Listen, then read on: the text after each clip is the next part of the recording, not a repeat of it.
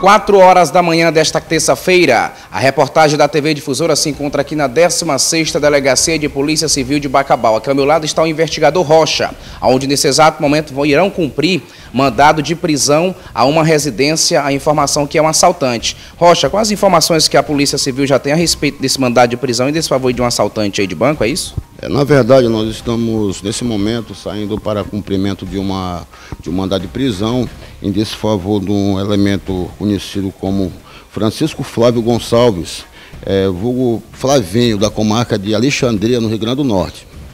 O que esse Flavinho teria feito, Rocha?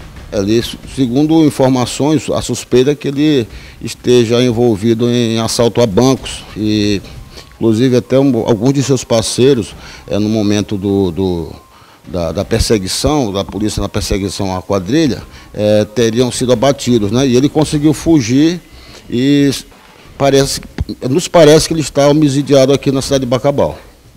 Informações que é um indivíduo de alta periculosidade, né, Rocha? É, muito, de muita periculosidade. Nós estamos aqui saindo é, com um efetivo não tão razoável, né?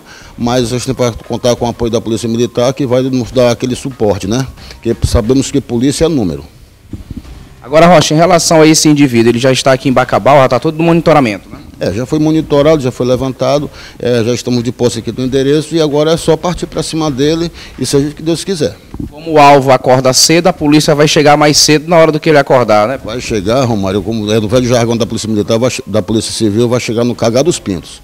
Na hora, obrigado ao investigador Rocha. Nesse exato momento, ó, a equipe já está se preparando aqui na 16ª Delegacia de Polícia Civil de Bacabal. O Rocha levando aí os armamentos porque lá a informação que a residência é trancada e a Polícia Civil, juntamente com a Polícia Militar, vai dar esse café da manhã para o Flavinho, que é um assaltante de banco de alta periculosidade.